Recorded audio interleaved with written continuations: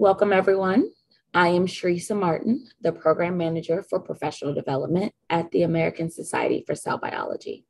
We are pleased to offer Online with LSE as a part of ASCB's Professional Development webinar series. Today, our facilitator, Dr. Diedra Wrighting, will be introducing our featured author for this installment of Online with LSE. Diedra, you can turn your camera on now.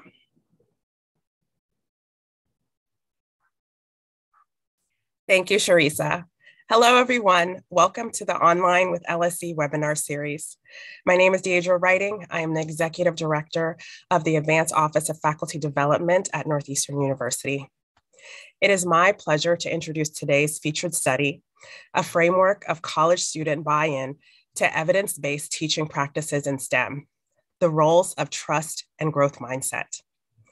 The goal of this webinar is to provide behind the scenes insights into biology education studies. As questions come to you during the talk, I invite you to share them using the Q&A feature. This will ensure that you have a rich discussion following the talk. I am pleased to introduce our featured author, Dr. Cong Wang. Dr. Wang is a research fellow in social psychology at the University of Michigan. Her research utilizes the framework of self determination theory to investigate the contextual and individual factors promoting student motivation.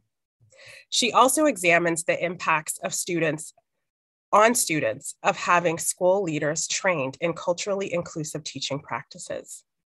Previously, Dr. Wang was a postdoctoral associate at Yale, and she holds a PhD in educational psychology from Purdue. Welcome, Cong. We are very excited to hear your talk today. Hello, everyone. Thank you, Diedra, for the kind introduction.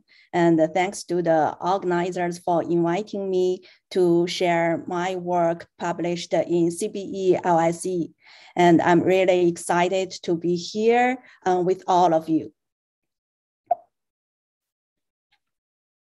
Well, today I'm presenting this work on behalf of my co-authors. You can see them on the screen. This study is one of the projects that I did as a postdoc researcher in the STEM program, program evaluation and the research lab at Yale University. Dr. Mark Graham is the director of the lab as well as the PI of this project. And this study is part of a large conversation um, about how to promote students' engagement and learning in STEM fields via evidence-based teaching practices. And more information can be found on the STEM Pro website. Dr. Andrew Cavanagh is a former postdoc of the lab, and Julia Gill and Melanie Bauer are our current and uh, former uh, project managers and uh, Dr. Philip Reeves, Dr. David Hanauer, and Dr. Xinnian Chen. They are our long-term collaborators. This work won't be possible without the team.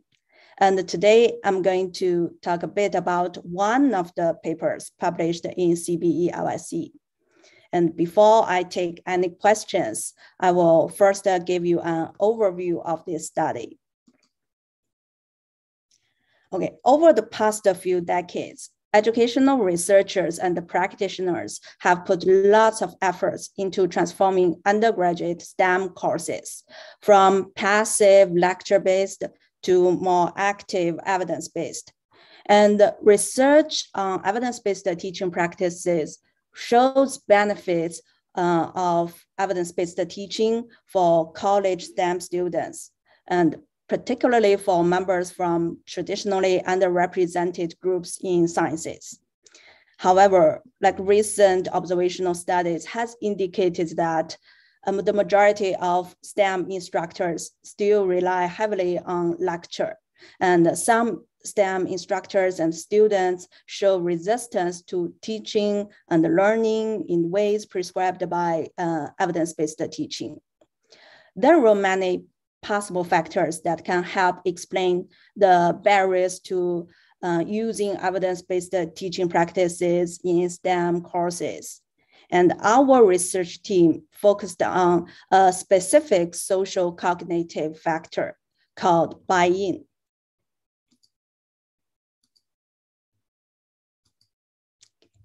Buy-in refers to individuals' general feelings in relation to a new way of thinking or behaving. And uh, instructors buy-in to evidence-based teaching practices refers to a sense of commitment to incorporate, uh, adopt evidence-based teaching practices in their own teaching, as well as a belief that the changes in their teaching practices will have positive impacts on their students. And we believe that in order to promote uh, the implementation of evidence-based teaching practices, just training instructors about the practices is not sufficient. Because if instructors do not truly believe that the suggested practices will have positive impact on their student learning, they are unlikely to engage in implementing those practices in their classrooms. And our lab's previous work conducted by Dr. Aragon has shown that instructors uh, who have a high level of buy-in toward evidence-based teaching practices are more likely to implement those practices in their classrooms. However, our research did not stop at the instructor level because although instructors' implementation of evidence-based teaching practices is important, it's not the ultimate goal of faculty professional development. The ultimate goal is to promote student engagement and promote student success in STEM fields. So we applied the construct, the idea of buy-in as well as the buy-in framework to understand students' experiences. And this is also the focus of the current study that I'm going to talk about today. Like instructors buy into evidence-based teaching practices affect their adoption of such practices. We believe that students buy into evidence-based teaching practices also affect how much they can learn from the class uh, featuring evidence-based teaching. And our lab's prior work conducted by Dr. Cavanagh, who is also one of the co-authors on this paper, has supported this argument and demonstrate the positive associations between student buy-in, student engagement, and student outcomes. In this study, student buy-in is operationalized through a a process framework called EPIC framework. The EPIC framework was originally developed by Dr. Aragon and Dr. Graham for understanding instructors' adoption of evidence-based teaching practices. And here in this study, we applied this work to understand and explain students' learning experiences. So here I will walk you through this process um, first, after students being exposed uh, to evidence-based teaching practices in uh, transformed STEM courses, uh, students need to be first be persuaded that the evidence-based teaching practices used by their instructors are of educational value. And then they need to identify with those practices and believe that those practices are good for them personally and are compatible with their uh, learning approaches. And after that, they need to commit to this way of learning in the future. Students who um, demonstrated high levels of buy-in to evidence-based teaching practices are more likely to engage in learning activities in the classrooms. And in this study, students buy-in toward evidence, evidence teaching practices was assessed by three indicators, persuasion, identification, and commitment. Well, in addition to testing the effects of student buy-in itself, factors that influence buy-in are also important. In this study, we examined the two uh, social cognitive factors that affect students' buy-in. Uh, one is trust, the other is growth mindset. Um, trust uh, refers to a perception that the instructor understand the challenges facing students as they progress through the course and accept the students for who they are and cares about uh, the educational welfare of students. And active learning environments are designed to maximize the interaction between student and uh, their instructor. A growing literature on instructor-student interactions suggests that building personal connections with students improves a range of student outcomes, including motivation, attitudes toward learning, and uh, engagement and performance.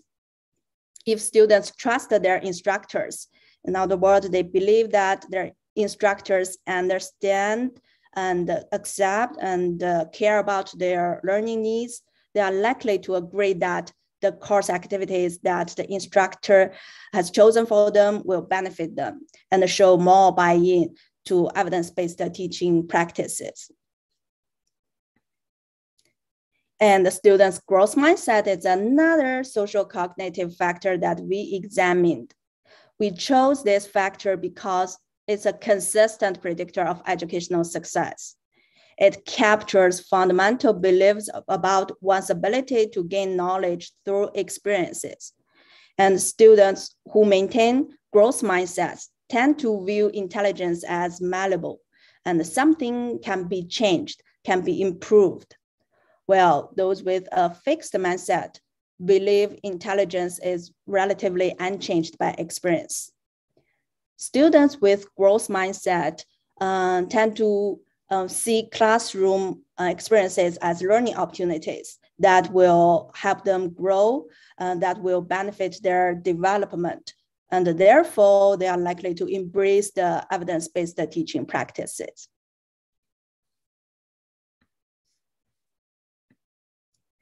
Drawing upon our prior research findings, as well as the literature in psychology and in education, we proposed a, a buy-in framework to understand the college students' learning experiences in transformed STEM courses featuring evidence-based teaching practices. Specific, specifically, we hypothesized that students' trust in instructors and the growth mindset will enhance their buy-in toward evidence-based teaching practices through the pathway from persuasion to identification to commitment. In turn, the buy-in will foster students' engagement and uh, subsequently affect the desired student outcomes. So here I'm going to talk about a bit, a bit about the research background of this study uh, we tested our buy-in framework with participants of the National Institutes on Scientific Teaching, formerly known as the Summer Institutes on Scientific Teaching. The Summer Institute is a national professional development program in which uh, college level instructors participate in an intensive week-long training in evidence-based teaching practices focused on active learning and uh, metacognition, formative assessment, as well as uh, inclusive teaching. And our sampling procedure consists of two phases. First, we identified a sample of instructors who had attended at least one summer institute on scientific teaching and uh, who reported implemented a high number of evidence-based teaching practices. And 14 high implementing instructors from 14 institutions were included in this study, including 11 female instructors and three male instructors. Most of the instructors were teaching in uh, research intensive universities. After we identified the high implementing instructors, we contact the students who enrolled in their courses and inviting them to participate in uh, our online survey. The final sample includes 2,102 students. The large scale student data does not only allows, allow us to test a relatively complicated model as we proposed, but also give us the opportunity to test the, invariance of the model across different groups of students. And in this study, we examined the, generalizability of this buy-in framework across various racial and ethnic groups and between female students and the male students. This is an overview of the measures. Students trust in their instructors, growth mindset, buy into evidence-based teaching practices, engagement in self-regulated learning behaviors, and uh, science persistence were assessed using the uh, existing reliable and valid scales. To account for the measurement errors, we treated these constructs as latent variable in our structure equation modeling. And the latent variable refers to that the variables that cannot be measured or cannot be observed directly, but rather inferred through a mathematical model from multiple observed indicators. And in this, in and later I will show you that in this model, we use ovals to represent the latent variables. And student final course grade was used as the uh, performance outcome. The grade was provided by instructors and then normalized to a full scale uh, score. Students' course grade was included in the model as an observed variable and included and represented by a rectangle. So here, this is the hypothesized model. You can see that all variables except for grade was represented by ovals because they cannot be uh, measured directly. So the main question we want to, I want to remind you uh, of our main research question. We want to know whether this proposed buy-in framework can be used to understand students' learning experiences in uh, science courses featuring evidence-based teaching practices. And uh, the result of the structure equation modeling shows that it's this model is a good fit for uh, to the data. And all the standardized path coefficients were significant at uh, 0.001 level and in the expected direction. And uh, let's focus on the left side of this model first. In accordance with our hypothesis, both the student trust and growth mindset were positively associated with persuasion. That's the first stage of student buy-in. And notably, students' trust in their instructor was more than twice as predictive of buy-in, suggesting that students' views of their instructors are more associated with thriving in a high evidence-based teaching context than their views of intelligence. Okay, the right side of the model uh, is about the effect of buy-in on student outcomes. In line with our previous research, student commitment, the last stage of buy-in, was positively associated with student engagement in self-regulated learning behaviors, which in turn was associated with uh, student persistence in science and the final course grade. This finding demonstrates that students' level of buy-in uh, is key to attaining many, like many of the long desired student outcomes in undergraduate STEM courses. In terms of the relationships among the buy-in constructs, persuasion, identification, and commitment were positively associated with each other, which supported the EPIC framework. However, it is worth noting that the relationship between persuasion and identification was relatively weak, which suggests that uh, persuasion may not always lead to identification. Uh, however, the relationship between identification and commitment was relatively strong, indicating that once student identify with the uh, practice. They, they think the practice is good for them personally. They are likely to commit to engage in, in the practice in the future. And after confirming the hypothesized framework, we carried out a series of multi-group structure equation modeling to evaluate the invariance of the model. And we found that the framework of student buy-in holds across diverse groups in terms of gender and race and ethnicity.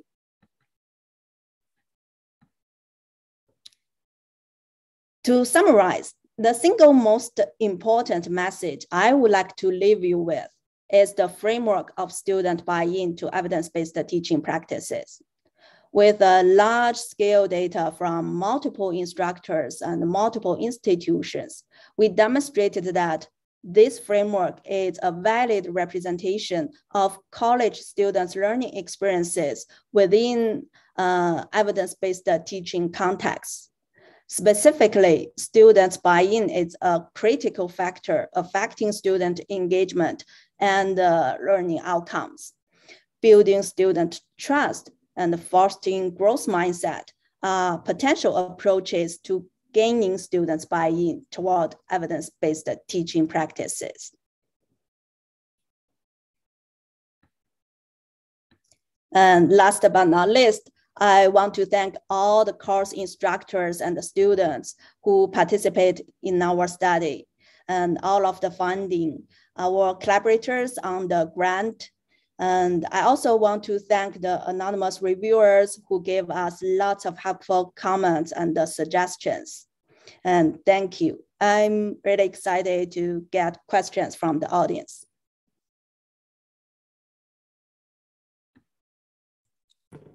Thank you so much, Cong.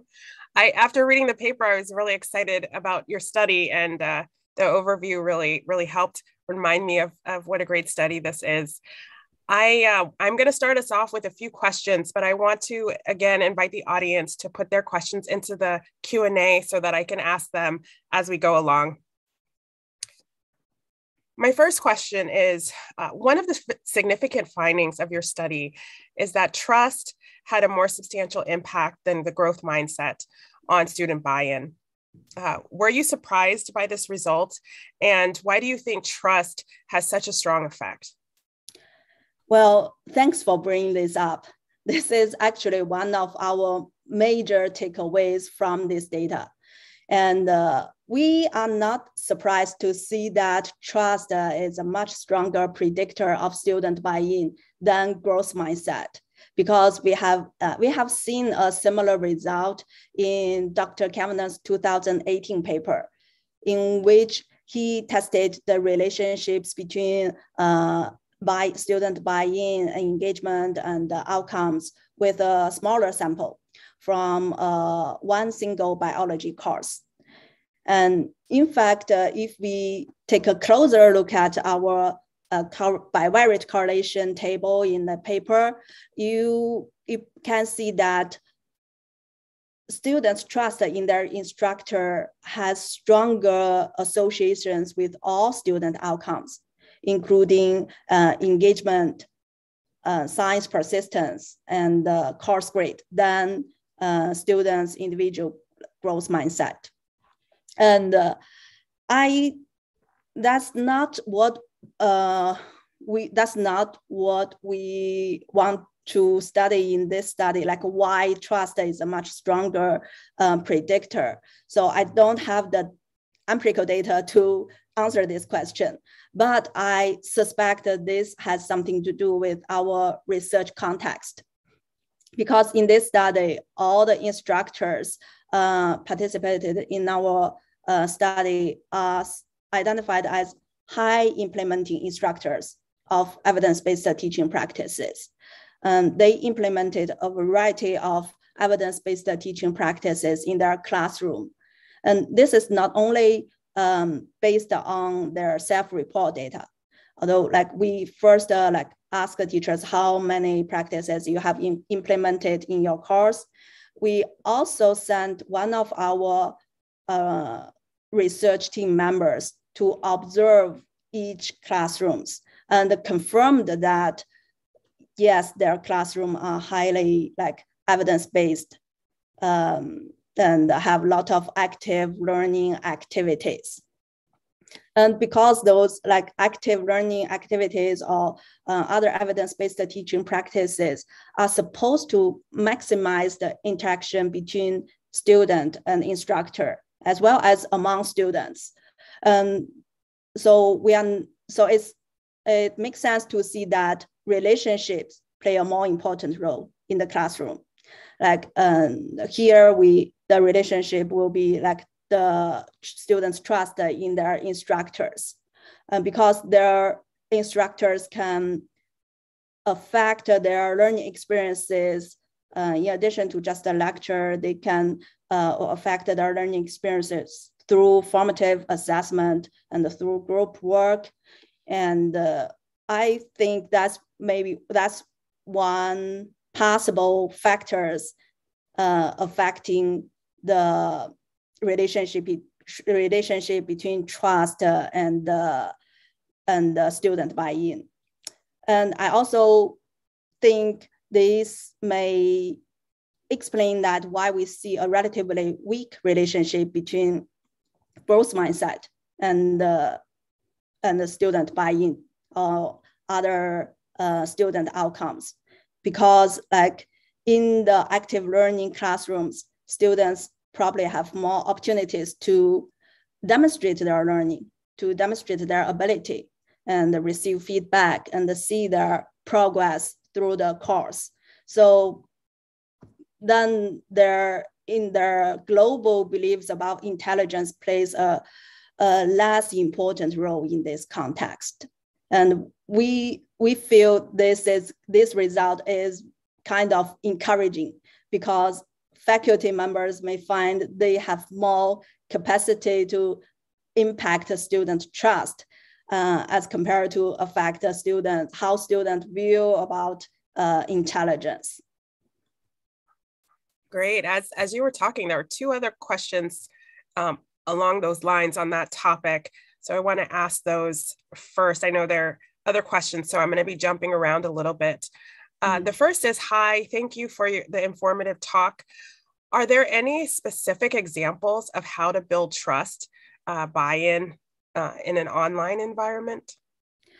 Okay, that's a that's a good question. Like, yes, since we find that trust plays an important role in promote buy-in, so the very like the the natural question will be how we can build a trust. And, uh, and I feel the research in psychology and education suggested that providing like a safe and uh, uh, autonomous supportive uh, environment can be an effective way to build trust.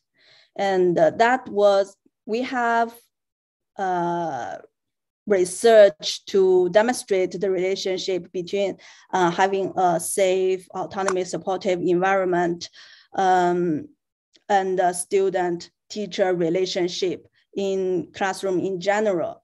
And uh, in terms of the online environment, I don't have specific strategies that applied to online environment. Um, but I think the general strategy, uh, strategies like give, providing students with choice, acknowledge their perspectives, and uh, ask uh, stu- take students' perspectives into your um, classroom, in, include your course assignments and uh, course design. Those things should be applied to online environment as well. Thank you. Uh, the next question is Have you looked at the impact of instructors' growth mindset on buy in of, by students?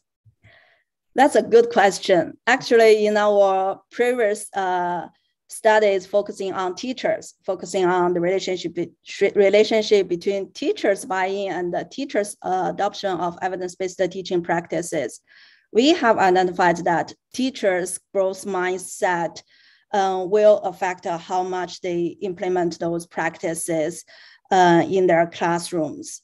Uh, however, we haven't linked the teacher's growth mindset to students' experiences yet, but that's something we want to do in the future because as you can see, like in my overview, we have done the work focusing on teachers and we have work done focusing on students.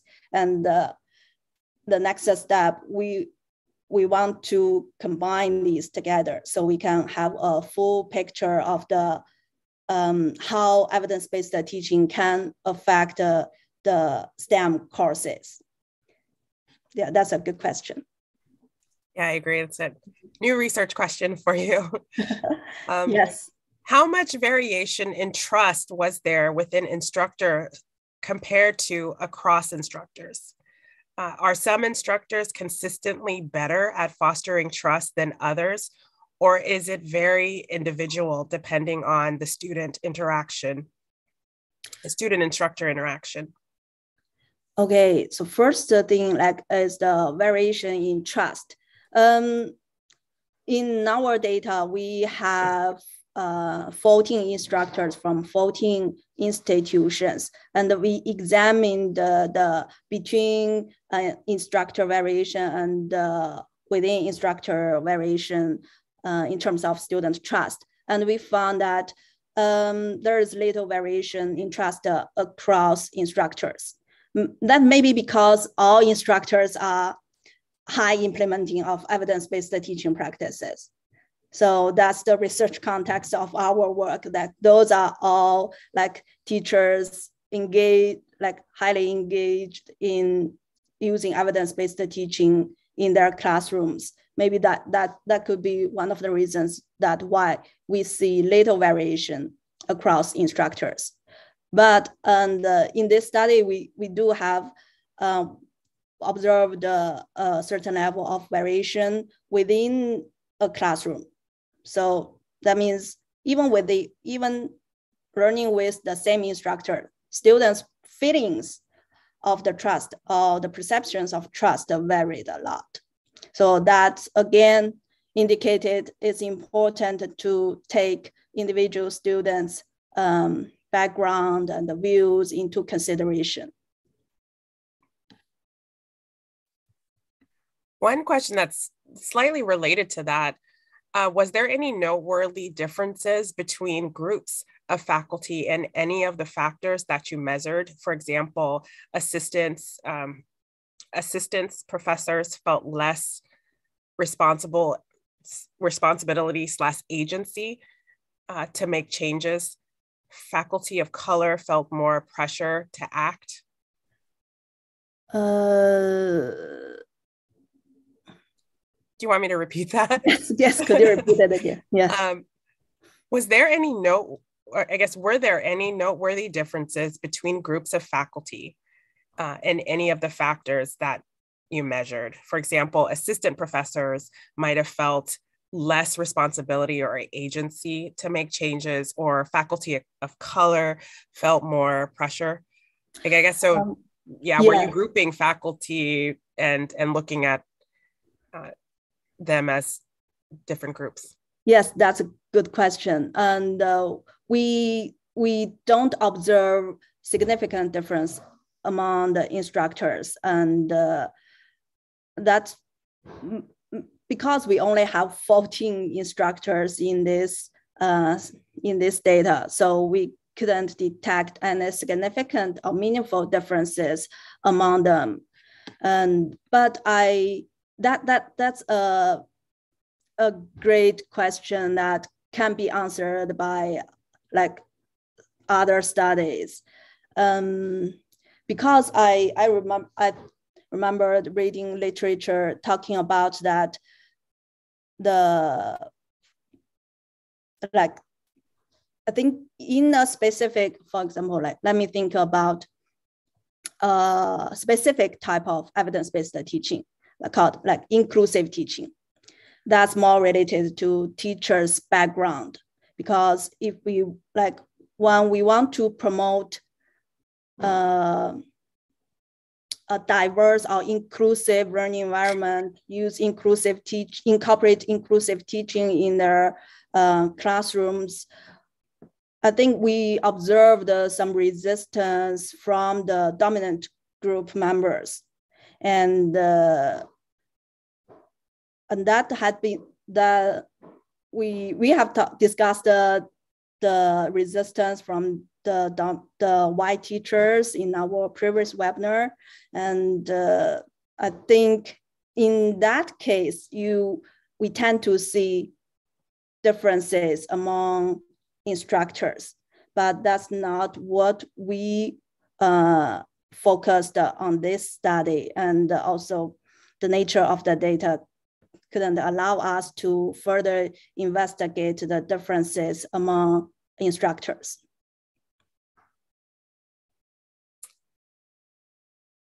Awesome. Um, trust is a really uh, hot topic here, yeah. uh, and this this is a really interesting one.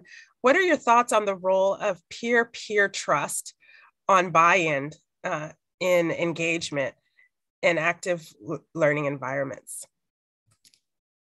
Uh, peer-peer trust uh, in that like student among trust among students. Okay. Yes. Um I do think that peer-peer trust, the, the, the relationship, the relationship among students can play a role in students' feelings uh, in a class.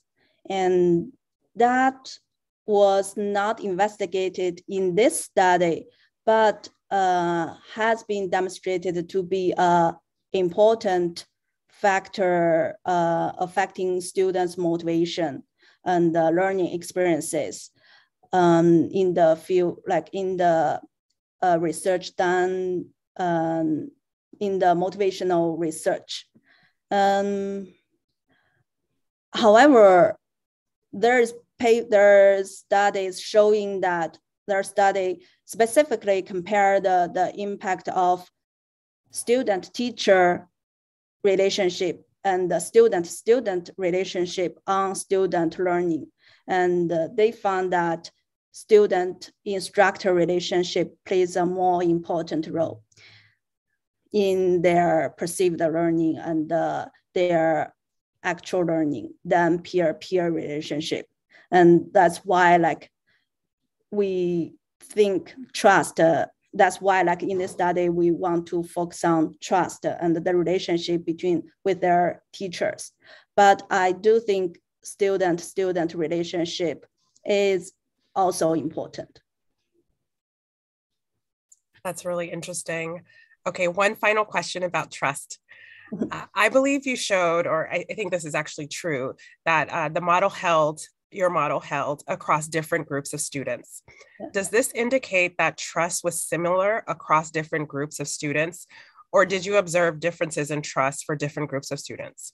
For example, students of color versus white students, or males versus females? Yes, that's a good question, and we, we do investigate that. And uh, for first, I will talk about race, like race and uh, ethnicity trust uh, trust uh, was perceived similarly across racial and ethnic groups. So among white students, like race, uh, underrepresented minorities and uh, students from other race and ethnicity, their um, their like responses to the trust measure are similarly. And uh, the relationship between trust and buy-in the, the relationship was similarly across the, those uh, groups of students. However, for female and male students, we do observe the uh, difference. And we found that female students and the male students interpret the measures of trust differently. It, it's not about the, the magnitude of trust. Like they, we, if you look at the, the mean value of female students and male students, you don't see the difference between male and female students. But based on the measurement invariance analysis, we found that the these different items, these um, the measures to assess trust worked differently between male students and the female students. So that's something we would like to uh, further investigate. And the, the research team is currently refining, trying to refine the measure of trust. And uh, then like we can, after we can ensure the invariance of the measure between male and female, and then we can move on to investigate whether the relationship between trust and the buy-in work differently or similarly between male uh, and female students.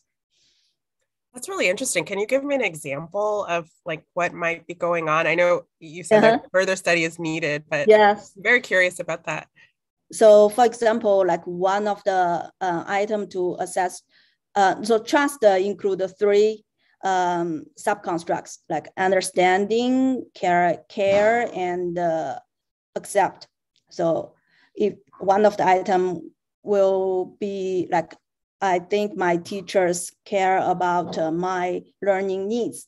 For example, that that and the item will be similar to that. And the female student and the male student may interpret this item differently. So they, when they respond to this item, they may think different things. Mm. Very interesting. So there's one question about the EPIC framework here mm-hmm. um, about has it been used in summer science programs uh, before science uh, before students matriculate? If so, what were the results? Um, can can you say it again? Could you? Has the EPIC framework been used in any science uh, summer science programs, like before students go on to college, I guess, or before, before they enter these classes that you're studying?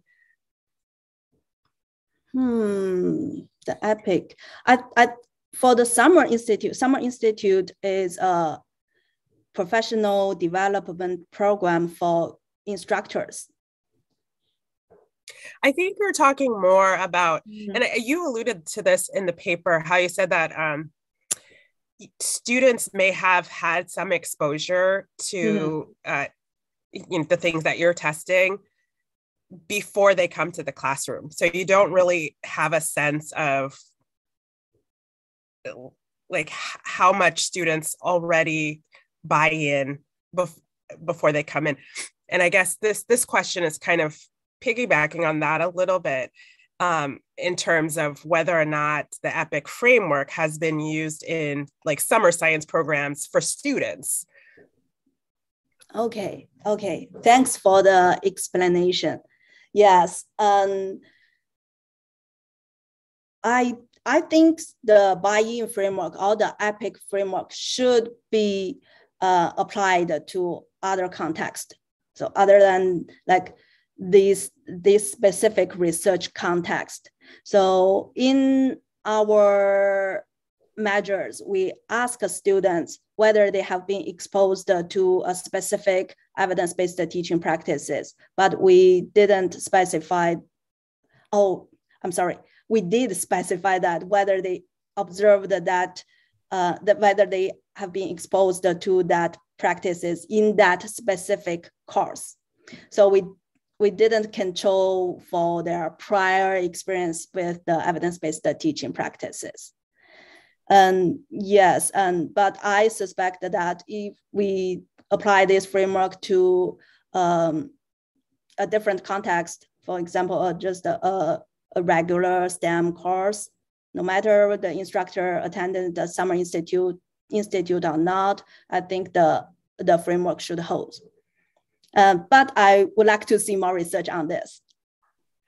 I agree. And you know, I I sort of interpreted that question for myself. So if the person who asked it, if they you have a follow-up question, please add it into the uh, the Q&A. Uh, the next question I'd like to ask is is there any indication that uh, from your research or the work of others that there are other factors that influence buy-in in addition to trust and growth mindset? If so, uh, what might these factors be? Yes, that's uh, that's the other predictors of buy-in. That's something I'm definitely interested in uh, keep investigating. And I'm a motivational researcher, and I specifically use the framework of self-determination theory to understand uh, college students' learning experiences.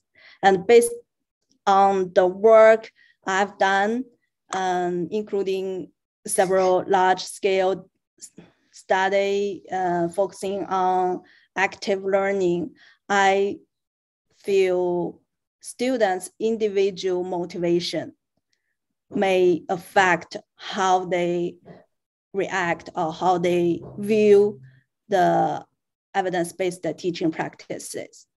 Uh, for example, like if students take a course, take a STEM course because they're really interested in learning the course content, or if they, they take the course because the course is relevant to their future career, they probably will be willing to engage in the course activities.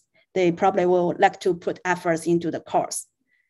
However, if they take the course just to fulfill their uh, degree requirement. So take the course because of uh, for the external motivation. They probably won't enjoy doing the activities that suggested by the evidence-based teaching practices, because we all know that evidence-based teaching practices require students active participation rather than passive learning. So they cannot just uh, sit there and listen to the their teacher's lecture, but they actually need to work hard and engage in the classroom conversation or engage in the class uh, activities. And they may not, um, they may show less buy-in toward evidence-based teaching practices. So that's one um, factor that I can think of affecting students buy-in but the the environment, the classroom environment may also matters. Like whether the like trust is one indicator of the classroom classroom in, environment, but there are other uh, variables such as how much students perceive they have autonomy in the classroom and their sense of competence in the classroom. Those contextual factors may also affect how they experienced in those evidence-based teaching context. And yeah, I'm sure there are other factors that can affect the student buy-in. And I am ho- I hope to see more research on this. And that's definitely um, something on my research plan. Yeah, sounds like there's definitely room to add to the model and, and dissect it further. Um, my very first question was about whether you found the trust result surprising. Mm-hmm. Uh, and you said no. so I'm curious whether are, were there other of your findings that you did find surprising? Mm, I would say yes and no. And uh, yes, we did find uh, something that's very interesting, but not uh, in our original research hypothesis. That's the relationship among the buy-in constructs like persuasion, identification, and commitment. I talk about a little bit in the overview, but I would like to elaborate on that. So um, based on the EPIC, EPIC framework, these three variables should be positively correlated with each other that has been supported by our data. But we do find a weak relationship between persuasion and identification. That's the thing, uh, like not in our expectation or in our original hypothesis. But um, it after have a second thought on that, we feel it kind of makes sense because in this study, persuasion refers to how much students think the practices have educational value. Identification is about how much they like the practices personally. And uh, both the literature and my personal experience tell me that even students can recognize the value of certain practices. They may not enjoy doing it themselves. like exams. Many students will agree that having exams and quizzes can help them learn, but they may not check, oh, I like doing this. I enjoy doing this. Right. And also group work. Group work, tons of research suggested that group work can benefit student learning. And if you show the evidence to students, they may agree, okay, group work is good generally, but may not fit my need, may not suit me. So that's why like we we observe a relatively weak relationship between persuasion and identification. However, once students identify with the practices, think that the practices are good for them personally, they they tend to commit to this uh, way of learning in the future. So we see a strong relationship between identification and uh, and commitment. Very interesting. Very interesting. We are drawing close. I know it's surprising. We're drawing close to the end of our time together. So if you would like to get your last question in, please put them in the Q&A. I, uh, I have one more question. And uh, so in the discussion, you highlighted that a longitudinal or pre-post study design may have given uh, more reliable results. Uh, can you mm. share the rationale for um, some of the study design choices that you made and the feasibility of uh, other study designs? Would it have been possible to have uh, a control group, for example? Mm-hmm. Yes. Uh, okay. The research design. In this study, we use a cross-sectional re- uh, research design. we use that to investigate uh, the relationships uh, among variables with data collected at one time point. We chose this design because we want to test the validity of our proposed uh, conceptual framework with large scale data. And uh, a cross-sectional design is very useful for exploring relationships between variables. And once we confirm the relationship um, as we found in this study. The next step is to further, further test the direction of the relationship. Like, for example, in this study, we, based on the theory, we proposed that it's trust that affect uh, students buy-in. However, the nature of this data, the cross-sectional data, couldn't allow us to rule out the, the, the other way, like it's also possible that students buy in toward evidence-based teaching practices may contribute to an increase in trust. So this, this cross-sectional design could allow us to say one or say one way or another. So that's why in the discussion, we suggest uh, future studies to use other research designs such as pre-post uh, uh, design or longitudinal design to further investigate the causal relationships among the variables. And, and uh, okay, you, you mentioned the, the control, whether it's possible to have a control group. And yes, yes, it's absolutely possible to have a quasi-experimental design with comparison and the control groups. Um, however, like well, I have uh, a little bit of concern about that because in order to use that design, the comparison control group, researchers needs to identify very effective intervention approaches that can change trust or growth mindset. And uh, this, this type of design also require lots of effort and time from instructors. So I would suggest doing some uh, randomized control, like some small randomized control experiment first. And after we are very confident in the strategies uh, to improve trust or improve growth mindset, we can move on to the uh, testing and the intervention or testing the causal effect of trust and the growth mindset on buy-in in real classrooms. Well, thank you so much, Cong, for sharing your research with us and for this engaging Q&A session. I, would also like to thank uh, the organizers uh, for, for providing online with LSE. It's, it's been a really great journey this year. Mm-hmm. And I, I, would also like to thank uh, everyone for attending.